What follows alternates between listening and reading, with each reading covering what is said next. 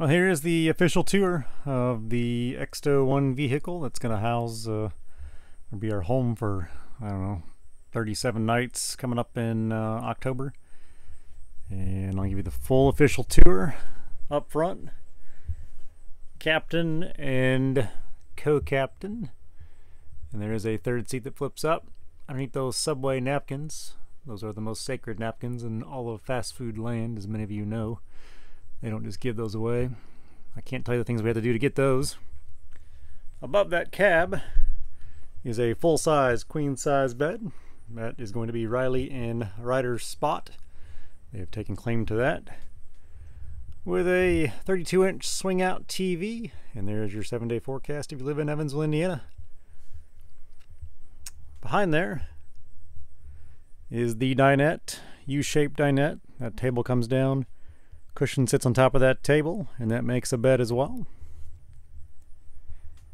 And next to that is a couch that also folds down and creates a queen size bed via a built-in air mattress that lays on top of all of that. Coming towards the back, you're going to pass the kitchen area. Pretty large kitchen. Full, uh, full size microwave up top. Lots of cabinet space along both sides, so we can cram all kinds of junk in there. That's a TV antenna right there. I put that there so I don't forget that it's uh, it's actually up. So I'll have to remove that before we start uh, moving. I don't want to rip it off. Back to the kitchen. Nice deep uh, sinks. And these remove for additional counter space as you need it.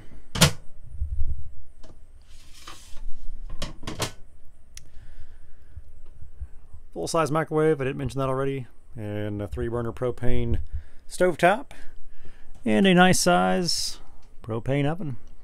It does work, we've used it. Full-size residential refrigerator. That'll house all kinds of junk food here very soon. And the freezer's already doing this job with the ice cream and cookies. Well done. There is a nice pull-out pantry with additional junk food. Well, oh, feels pretty decent. There as well. I see macaroni back there. The rear bedroom is a full, uh, actually it's a king size RV bed. So it's just uh, a little bit smaller than a normal size king size bed. Lots of storage uh, up top and all these closets have a lot of storage as well down below. And the TV also flips up for additional storage. And you can see we've already started packing for our trip.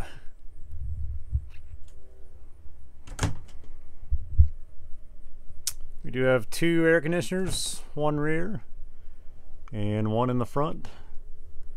And a decent sized bathroom. Trash can right now is sitting in the shower but uh, I can stand in that shower and uh, plenty of headroom. Skylight above.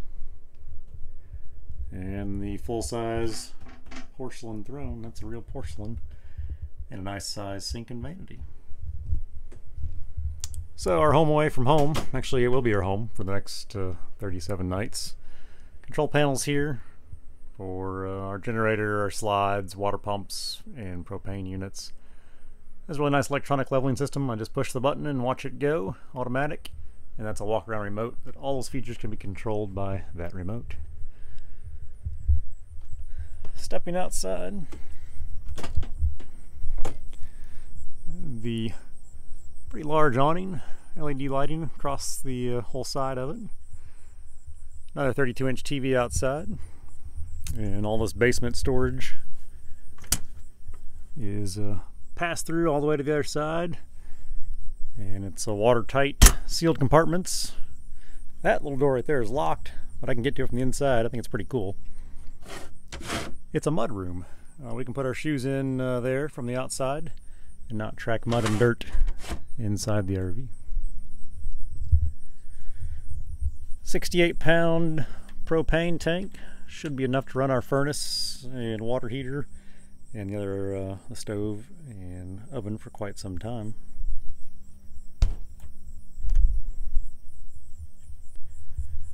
More basement storage.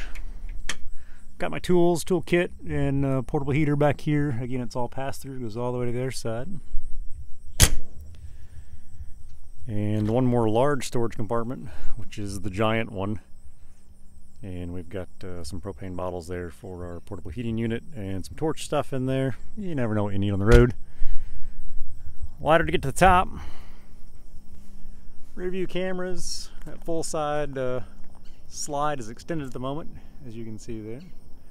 50 amp service and a 6,000 watt generator that will power everything uh, on this unit diesel generator. More storage, those are compartments, uh, those are the pass-throughs. Here, I'll open this one up. We got uh, some wood blocks in there. I got a tool kit, uh, actually some, some lubricants and sprays and a few additional parts in there. I got additional DEF fluid for the diesel and then some RV and marine antifreeze in there as well. Walking up to the front, I'll open the door. It's a beast. It's nice to drive. That 6.7 liter diesel, uh, which I've got the hood open right now because I think it's a work of art. I don't really recognize anything in there. So anything that needs to be worked on is going to have to be worked on by somebody much smarter than me, which is pretty much anybody. There she is. We'll just need to get her cleaned up and fully stocked, which we're getting there right now. We'll be hitting the road here in one week.